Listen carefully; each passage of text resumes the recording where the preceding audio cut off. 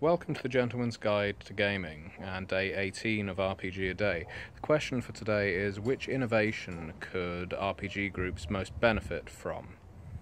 This is a question I suppose I'm going to answer somewhat egotistically.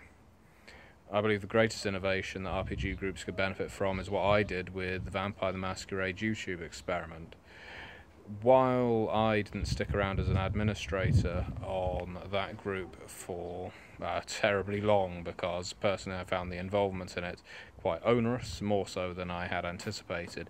The uptake, the interest in playing this game, this living city connected entirely by the internet, by cameras, by webcams, by the internet, by being able to record your footage of your games and upload it onto YouTube so that other players could review it and respond to it in character was, well, I would hesitate to say revolutionary because that's a loaded word, but it was certainly pioneering at the time. That's, that's also a loaded word, but I hadn't seen anyone else doing this on this scale, and that's how we ended up with over 100 players within the first couple of weeks. Now, I would then say the argument that it didn't work for the most part was one, the admins weren't prepared to actually put in the amount of time and work that was necessary to actually manage a community of that size. And I don't mean that as a detraction to the admins. We were not prepared for a group that size. There was no way to be prepared for a group that size or what it would demand a substantial portion of the players were, I suppose you'd consider them betas or followers.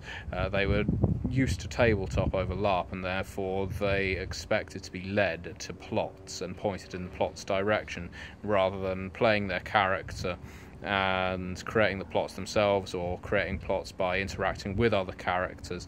And that left a lot of players sort of sitting around thinking, well, nothing's actually happening. No one is telling me what to do, uh, such as you may get in a tabletop role playing game where the plot is often quite obvious.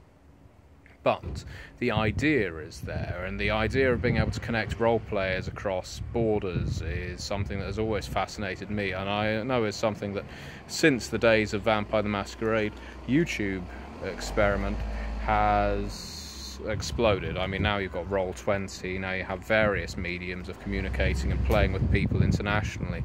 But still, the idea of a living city or a living world, not necessarily restricted to World of Darkness, it could be a city in the Forgotten Realms, and every single um, group has a different location or a different faction or a different religion or whatever. It's something that could expand, and I feel should, but it's also the kind of thing that you probably need a paid model for. When I actually set up uh, VTMYTE, a lot of people did actually say to me, Why aren't you charging people for this? The amount of work you're putting into it, you should actually be charging people to play so that you can actually spend the time necessary to put in honestly, it was just an idea of mine. I had no idea it would be as successful as it was, and therefore didn't even consider charging people. And in retrospect, I still wouldn't have. It's not the kind of thing I'd want to do as a job.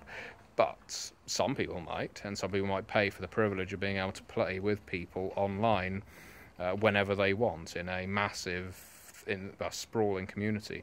Not too different to an MMORPG, but actually in person, you know, face to face via webcam. It's something that I see an awful lot of people online complaining they have no RPG group, and yet there's so many people online who are saying, I've got no RPG group. All you actually have to do is hook up by webcam to do it.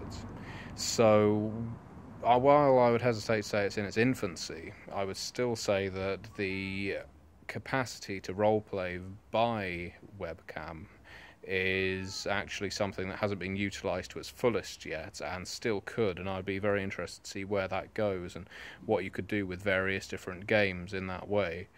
So, yeah, that would be my answer to the question for day 18. Thank you very much for watching.